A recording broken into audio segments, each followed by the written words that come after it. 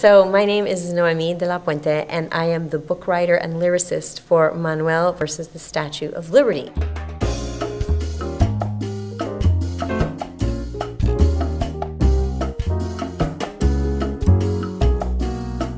The 2014 NYMF Developmental Reading Series Award is a huge honor for us to win.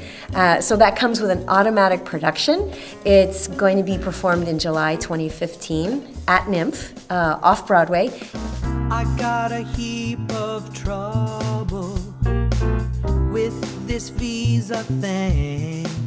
Manuel versus the Statue of Liberty is a musical comedy about illegal immigration. It's actually inspired by the true story of a Princeton undergrad who was an illegal alien and who got a Rhodes Scholarship to study classical Greek and Latin literature at Oxford.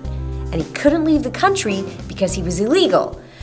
So Manuel versus the Statue of Liberty has two main characters, as you would guess. One is Manuel, the illegal immigrant boy genius, and the other is the Statue of Liberty. Give me your tired, your poor, your.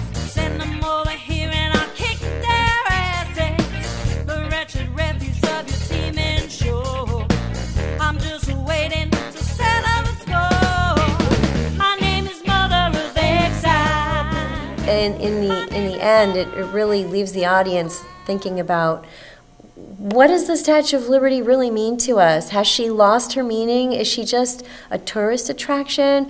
Or is she really an American icon that symbolizes what we Americans have in our hearts?